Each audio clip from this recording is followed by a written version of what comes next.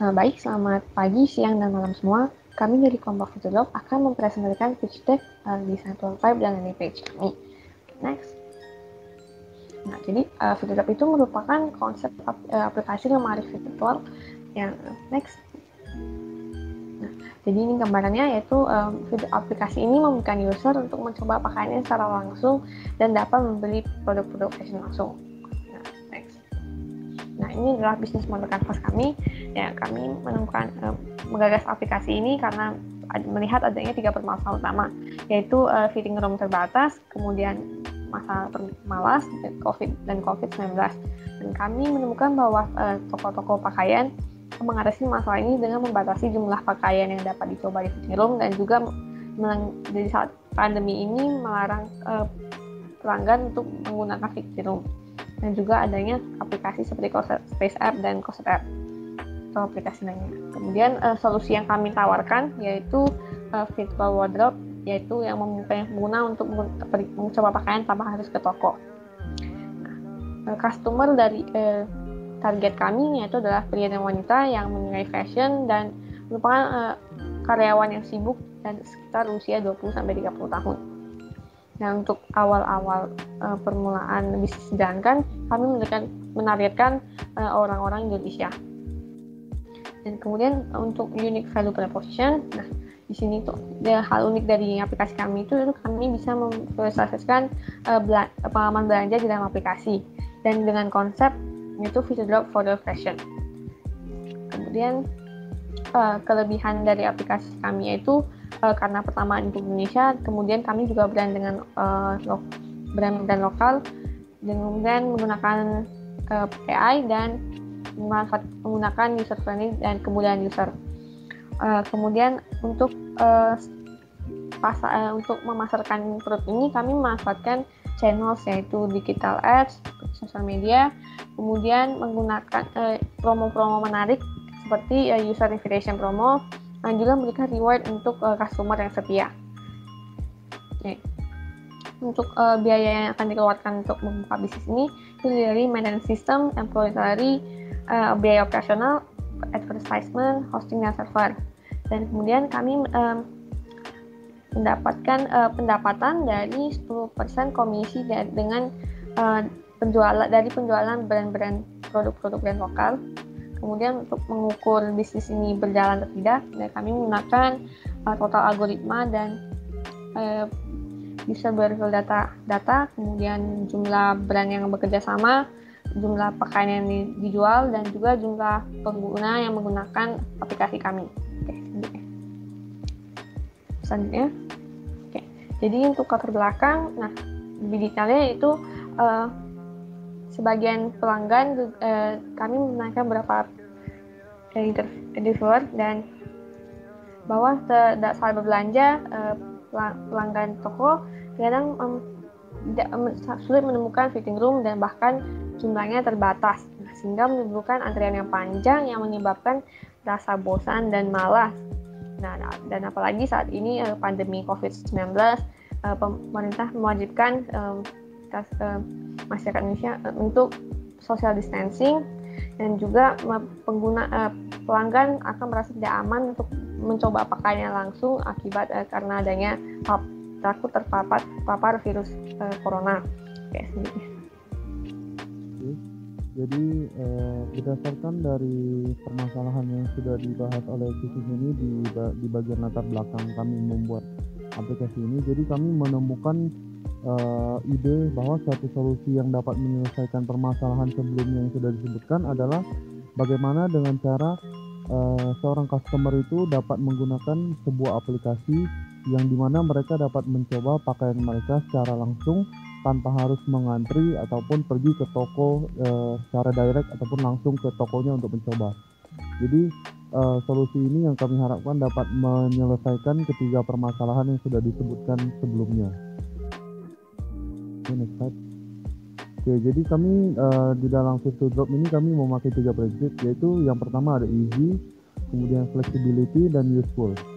Jadi untuk uh, prinsip easy, jadi kami mengharapkan bahwa user dapat uh, ke depannya setelah menggunakan virtual drop dapat lebih mudah berbelanja karena dikarenakan segalanya sudah menggunakan digital ataupun uh, by mobile apps jadi semua akan lebih dipermudah kemudian flexibility juga uh, user dapat mencoba pakaian tanpa harus ke toko di mana mereka uh, memiliki fleksibilitas jadi mereka tidak harus datang ke toko untuk mencoba secara langsung kemudian useful yang kami harapkan virtual drop ini dapat berguna bagi user ke depannya untuk menentukan uh, selera fashion yang mereka sukai atau yang akan mereka gunakan untuk sehari-hari.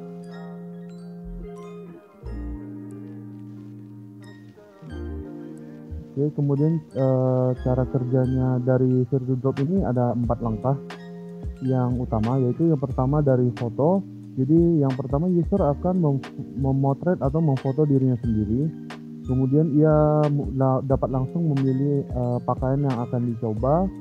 Kemudian di dalam aplikasi juga mereka akan dapat membeli pakaian yang mereka coba secara langsung dan akan langsung dikirimkan Nah, dan kemudian uh, finalnya adalah mereka dapat menemukan pakaian yang cocok yang dapat digunakan uh, sebagai outfit of the day mereka. Uh, baik, kami telah menganalisis komputer-komputer uh, yang kami yaitu terdapat My Blessing, Closet Space App, Closet App, Stasius, dan Your Closet. Dan masing-masing uh, aplikasi ini memiliki konsep bersama yaitu uh, aplikasi uh, virtual wardrobe.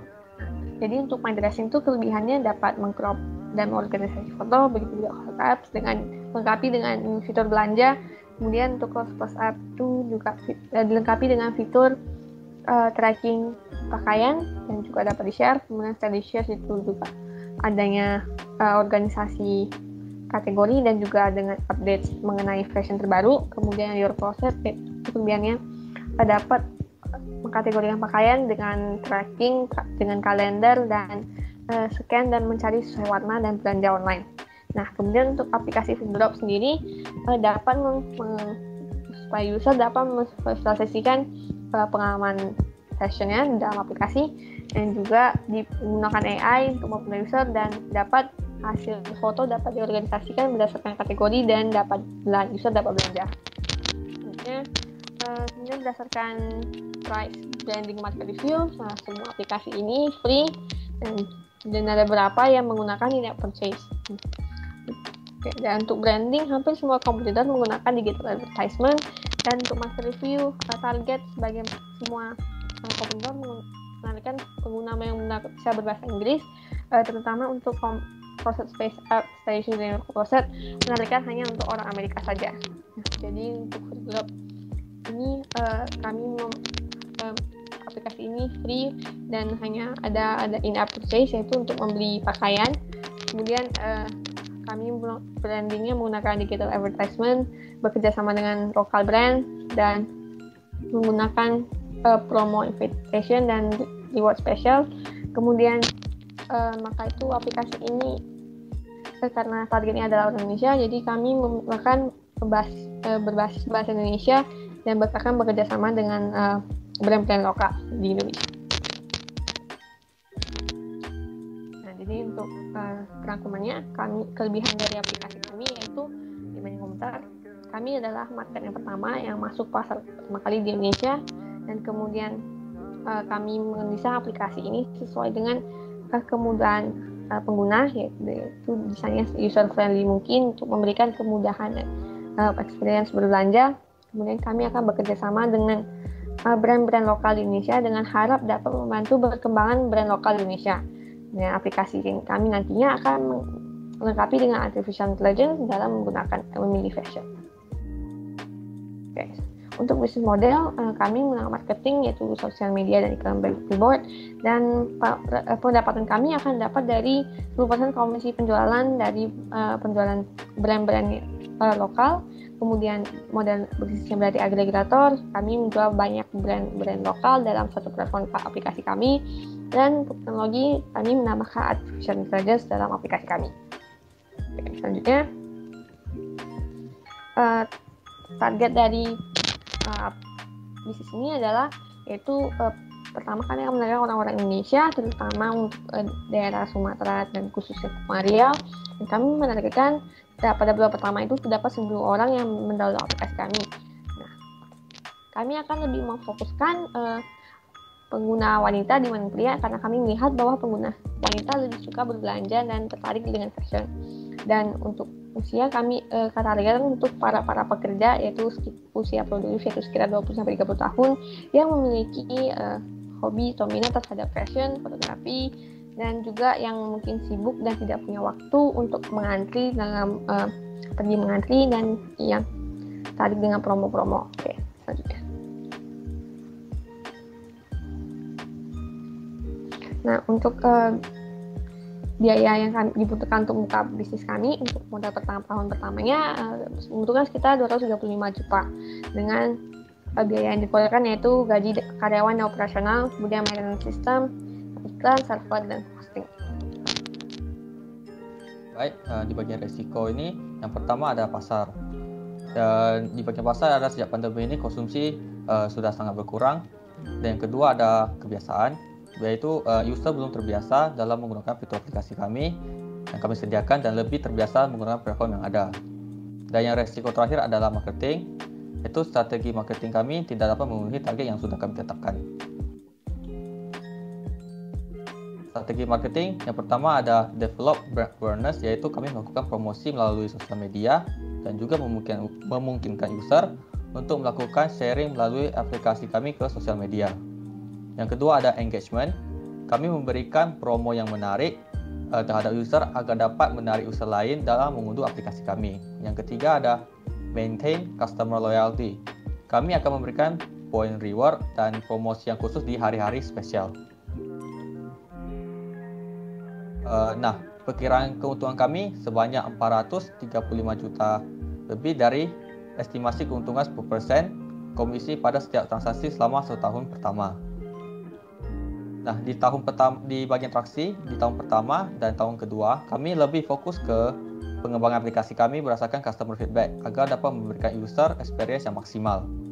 Dan di tahun ketiga, kami mulai mengerjakan strategi marketing kami sesuai eh, target yang sudah kami tentukan dan bisa dilihat dalam rata-rata lima tahun ini kami perkirakan target keuntungan kami sebanyak 1,9 miliar per tahun dan 100 ribu total pengunduh aplikasi kami dan 7 ribu jumlah produk yang sudah dijualkan selama lima tahun.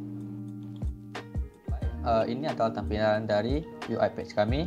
Yang pertama ada landing page dan setelah itu user akan memasuki ke dalam sign up page, sign in dan welcome to web page. Nah, di sini uh, setelah page ini user akan memasuki homepage dari tampilan uh, aplikasi kami dan setelah itu uh, user dapat mengakses uh, fitur kami mengenai produk list di produk list ini akan menyediakan produk-produk yang sudah kami sediakan dan setelah itu user dapat melakukan uh, selfie atau foto terhadap muka mereka dan dapat melihat deskripsi produk uh, terhadap pakaian yang mereka sudah tentukan uh, setelah itu uh, user dapat uh, menyimpan baju mereka sesuai dengan kategori yang sudah mereka tentukan. Dan di bagian wardrobe ini, uh, user sudah uh, dapat melihat pakaian mereka yang sudah mereka kategorikan dan sudah tersimpan secara organized.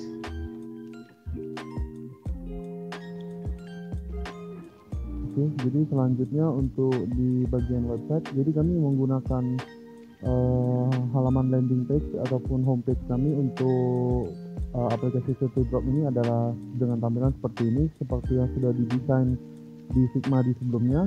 Jadi di sini ada benefitnya, kemudian fiturnya, kemudian screenshot uh, beberapa tampilan dari prototipe aplikasi yang akan uh, dibuat ke depannya.